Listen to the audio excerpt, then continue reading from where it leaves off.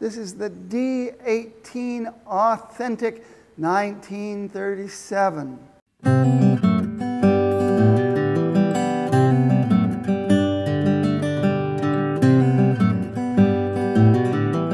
Hey, it's Spoon Phillips out here at the Martin Museum in Nazareth, Pennsylvania for Maury's Music in Coaldale, Pennsylvania.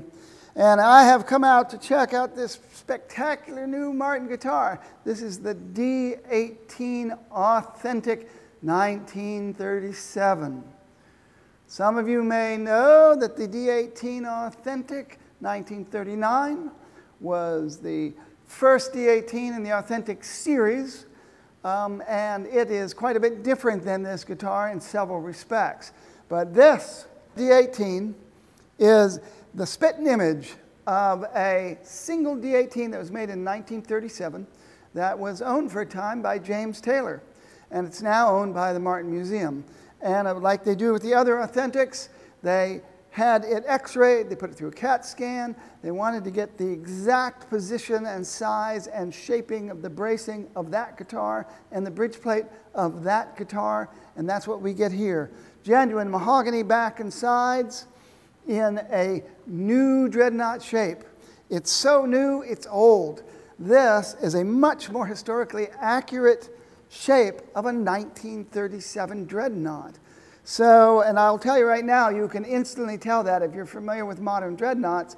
The moment you put it in your hand, up here in the upper bout is just a little quicker roll off of this angle.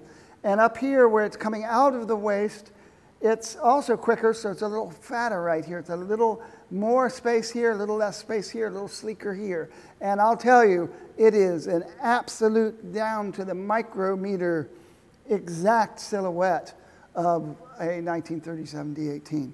So, and maybe it's got the same, you know, cubic space inside the sound chamber, but physically it's not exactly the same. So it's, uh, it would be debatable as whether they're going to sound the same or not. One thing that's going to keep this from sounding like the other D8, uh, the D18 Authentic is this is a 1937 based guitar, so it has forward shifted scallop bracing.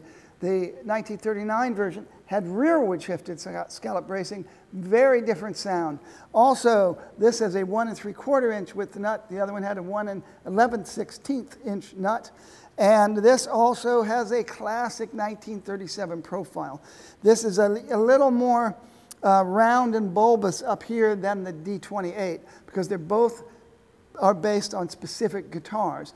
And that D28 is just a little more like a modern modified V in terms of the feel of the V. This is a little rounder, little uh, rounded off V. Also no volute down here, a volute as they say at the back of the neck. So very, like a vintage guitar, there is no V here.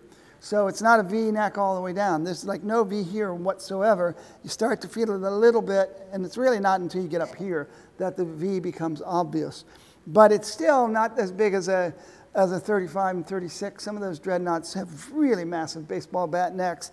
This is heading up there, but it's not. I've definitely played bigger vintage necks. And frankly, just uh, five minutes ago, I was playing the actual 1937. This is probably even closer than the D28 shaping to that original 1937 neck. It's super close. Vintage tone system, Adirondack spruce top, of course. Vintage tone system, forward shifted scallop bracing, of course. Tucked bracing.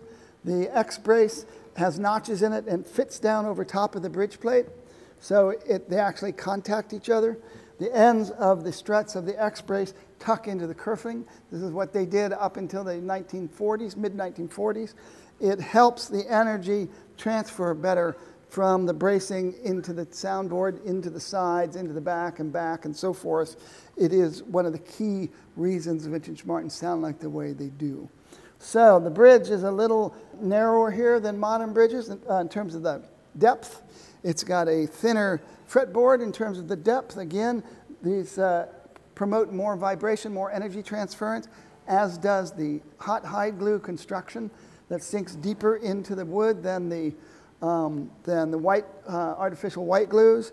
And so again, energy transference from one busy piece of wood to the other. It's all about getting as much energy transferred and turned into sound waves as possible. It is the vintage Martin way of doing things. Of course, big traditional dovetail neck joint. Um, this thing is a magnificent mahogany guitar, big, robust, big full bass. Doesn't have the complex overtones you get from rosewood, but it's still plenty of very pretty harmonics. Um, and again, the new dreadnought shape, much more historically accurate to a 1937 dreadnought. The D18, authentic, 1937, new for 2022.